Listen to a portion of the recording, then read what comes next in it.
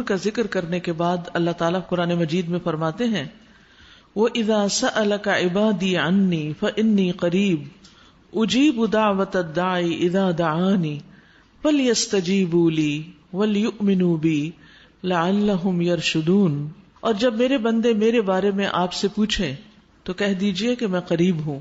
میں پکارنے والے کی پکار کا جواب دیتا ہوں۔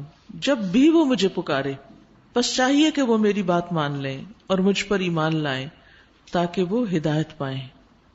تو اس سے پتا چلتا ہے کہ بندہ جب بھی اللہ تعالیٰ کو پکارتا ہے، دن میں یا رات میں، تنگی میں یا خوشحالی میں، اللہ سبحان و تعالیٰ اس کی بات سنتے ہیں، جواب دیتے ہیں۔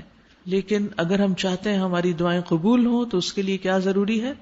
کہ ہم بھی اللہ کے احکامات کو کھلے دل سے قبول کر لیں اور اللہ تعالی پر بھروسہ رکھیں۔ اس سے انسان مشکل وقت میں مایوس نہیں ہوتا اور انسان کو کوئی نہ کوئی راستہ مل ہی جاتا ہے۔ انسان ہدایت پا جاتا ہے۔ اللہ کی مدد آ جاتی ہے۔ رمضان میں کثرت سے دعائیں کرنی چاہیے۔ یعنی ویسے تو عام دنوں میں بھی کرنی چاہیے، لیکن یہ مہینہ قبولیت کا ہے، اس لیے اور بھی زیادہ کرنی چاہیے۔ کیونکہ اس میں قبولیت دعا کے بہت سے مواقع ہیں۔ اور ویسے بھی دیکھا جائے تو دعا جو ہے وہ عبادت ہے۔ نبی صلی اللہ علیہ وسلم نے فرمایا دعا العبادہ دعا ہی عبادت ہے اور دعا سے زیادہ کوئی چیز اللہ کے ہاں معزز نہیں۔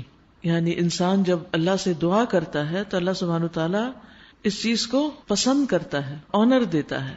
کیونکہ اس میں بندہ اپنی آجزی اور اپنے فقر اور اپنی محتاجی کا اقرار کرتا ہے، اس کا اظہار کرتا ہے۔ اور ویسے بھی اللہ سبحان تعالیٰ بندے کے اٹھے ہوئے ہاتھوں کو خالی نہیں لوٹاتا۔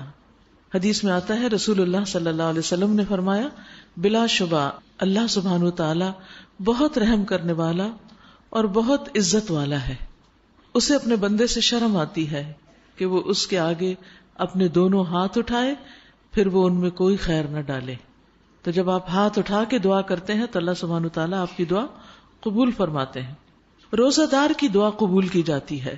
انس بن مالک سے روایت ہے کہ رسول اللہ صلی اللہ علیہ وسلم نے فرمایا فلاح دعوات لا ترد. دعوت الوالدی و دعوت الصائمی و دعوت المسافری تین آدمیوں کی دعا رد نہیں کی جاتی. باپ کی دعا یعنی اپنی اولاد کے حق میں روزہ دار کی دعا اور مسافر کی دعا.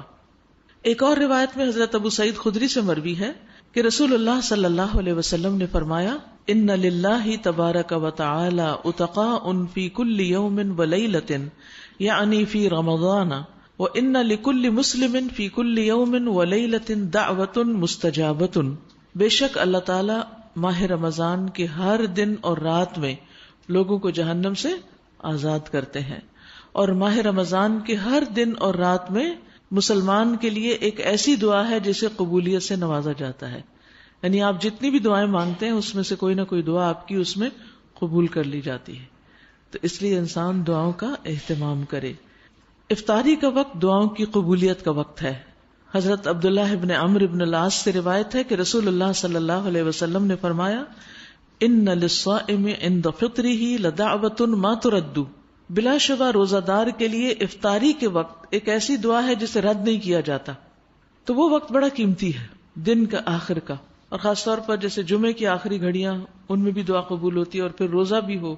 تو انسان کو پوری طرح اللہ سبحان تعالیٰ کی طرف متوجہ ہو جانا چاہیے اور اس وقت باقی سب چیزوں کو ایک طرف چھوڑ دینا چاہیے۔ دنیا کے سارے کام ہو جاتے ہیں، لیکن یہ وقت روز روز نہیں آتا۔ ہمیں نہیں معلوم کہ ہماری زندگی کے اور کتنے رمضان باقی ہیں یا نہیں ہے تو اس لیے ہر روزے کو امپورٹینس دیں۔ ہر دن امپورٹنٹ اور ہر دن اپنی دعاؤں کی کوئی فہرست رکھیں اپنے سامنے۔ یا وہ خاص خاص چیزیں جو آپ کو چاہیے۔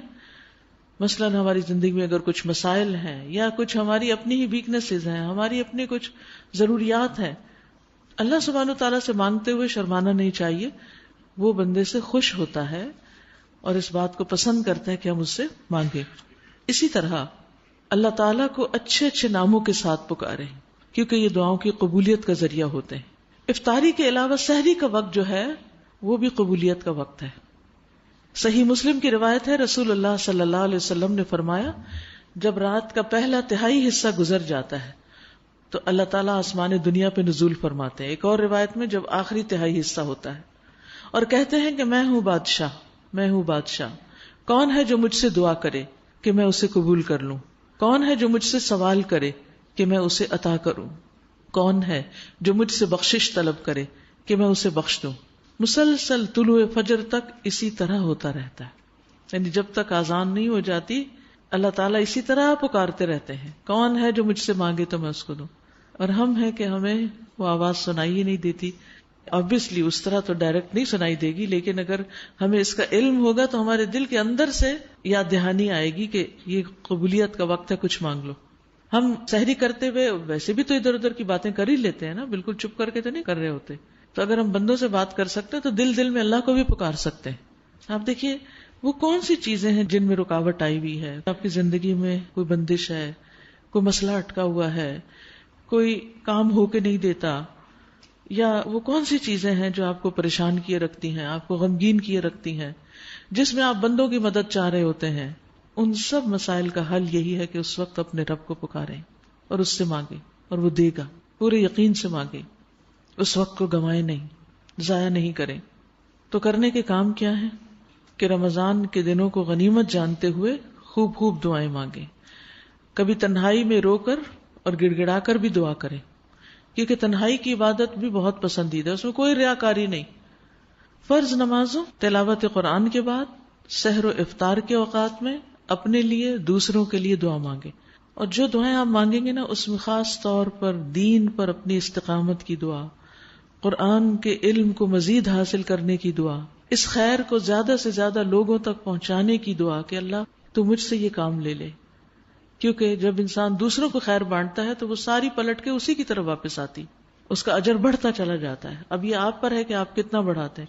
اصل میں جو دعا ہوتی ہے نا، وہ ہمارے جذبات کی آئینہ دار ہوتی۔ ہے جو کچھ ہم مانگتے ہیں، اس سے یہ پتا چلتا ہے کہ ہم کن چیزوں کے بارے میں کنسرنڈ ہیں۔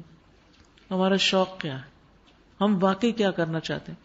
مثلاً اگر آپ کو شوق ہے یا پریشانی ہے کہ آپ کی نماز اچھی ہو جائے، تو اس کے لیے بھی دعا کریں۔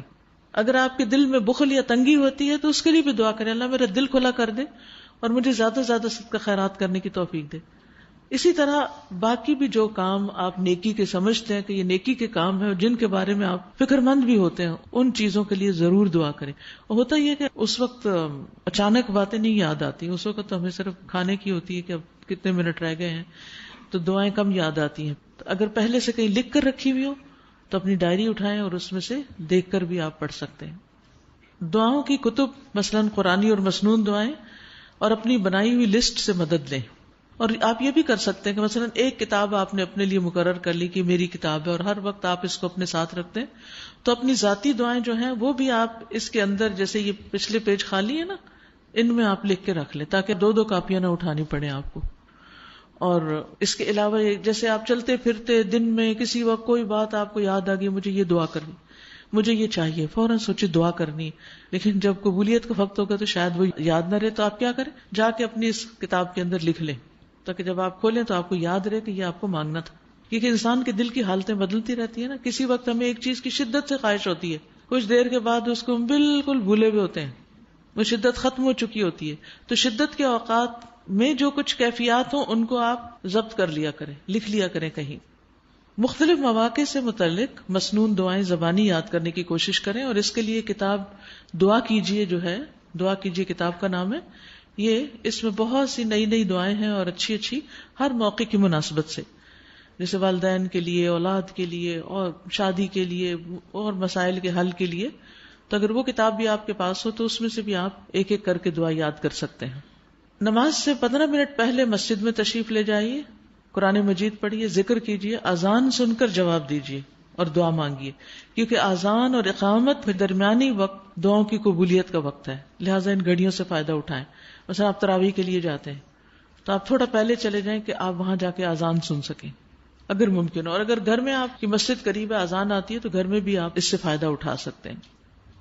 جیسے ذکر کیا گیا کہ اللہ کے ناموں کے ساتھ اللہ کو پکارنا چاہیے تو اس صفحے پر آپ دیکھیں کہ جیسے یہ چند ایک صرف نمونے کے طور پر کچھ نام لکھے گئے یا اللہ، یا رحمان، یا رحیم، یا حیو یا قیوم، یا دل جلال والاکرام، یا احد، یا سمد یا وطر یا فرد، یا مجیب الدعوات، یا بدی السماوات والارض، یا رب۔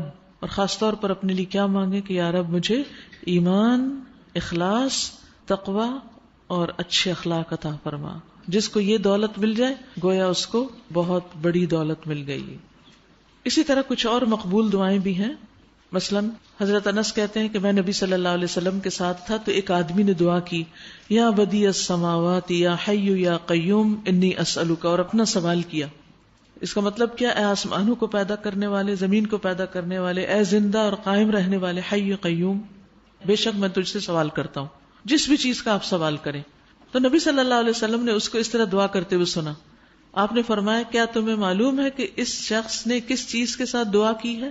اس ذات کی قسم جس کے ہاتھ میں میری جان ہے۔